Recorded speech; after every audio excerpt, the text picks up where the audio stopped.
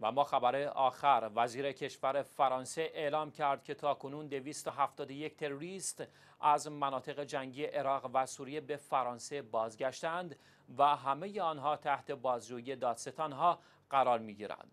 به گزارش رویترز ژرار کلمب وزیر کشور فرانسه ضمن اعلام این خبر تاکید کرد برآوردها نشان می‌دهد که حدود 700 شهروند فرانسوی برای جنگ در عراق و سوریه به صفوف افرادگرایان داعش پیوستند و فرانسه نیز مانند سایر کشورهای اروپایی برای مقابله با این چالش با دردسرهای زیاد روبرو شده است. وزیر کشور فرانسه افزود تروریست هایی که به فرانسه بازگشتهاند شامل 217 فرد بزرگسال و 54 فرد کم سن سال هستند که برخی از آنان فعلا در بازداشت به سر می‌برند.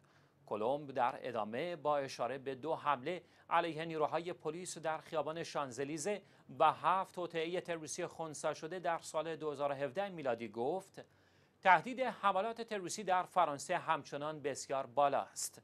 وی درباره تعداد فرانسویان به هلاکت رسیده در صفوف سنی های تندروی داعش اظهار بی اطلاعی کرد.